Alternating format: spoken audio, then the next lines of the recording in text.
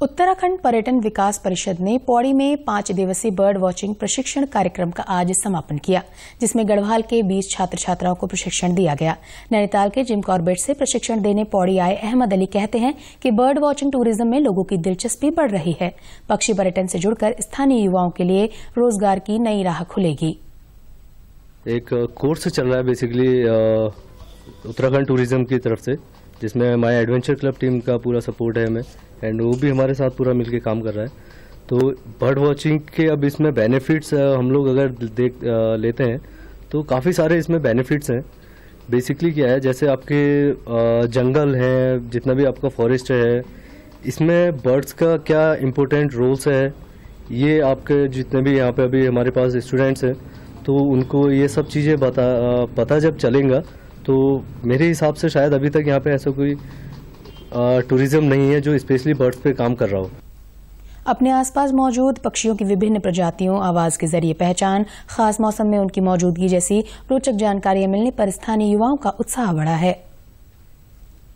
जो हमें आगे के लिए बहुत अच्छा फ्यूचर दिखाएगा कि जैसे हम एक बर्ड बर्ड ट्रेनर बर्ड या फिर बर्ड टूरिज़्म टूरिज़्म ऑफिसर बन सकते हैं। और जो जो मेरा पर्सनल वो है पैशन है, जो मैं पर्सनली फॉलो करना चाहूँगा, वो वाइल्ड लाइफ फोटोग्राफी है।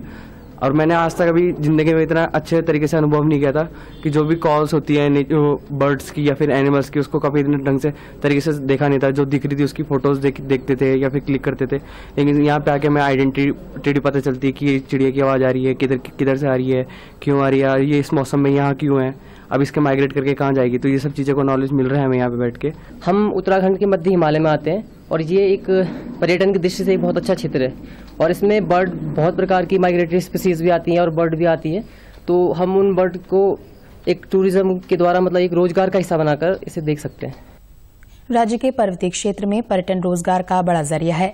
ज़्यादा से ज़्यादा युवाओं को इसे जोड़ने और पर्यटकों को पक्षी पर्यटन की तरफ़ आकर्षित करने के लिए जिला स्तर पर भी कार्य किया जा रहा है।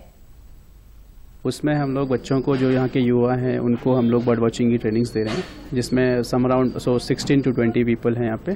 हमारे जो एक्सपर्ट्स हैं, वो भी बर्ड वॉचिंग की फ़ील्ड से ही हैं और they already have a very good experience in this field और इसमें कोशिश ये की जा रही है कि जो भी हमारी बर्ड वॉचिंग जो यहाँ पे बर्ड्स वॉच होती, की जा सकती हैं, उनको आइडेंटिफाई करके उनको ई बुक में ई बुक में लेके, उनका कॉफ़ी टेबल बुक बना के एक प्रिंट मीडिया और एक प्रिंट चैनल स्टार्ट करते हुए जो भी टूरिस्ट आता है उनको होटल्स होटल्स को भी हम उसमें इंफॉर्मेशन प्रोवाइड करेंगे।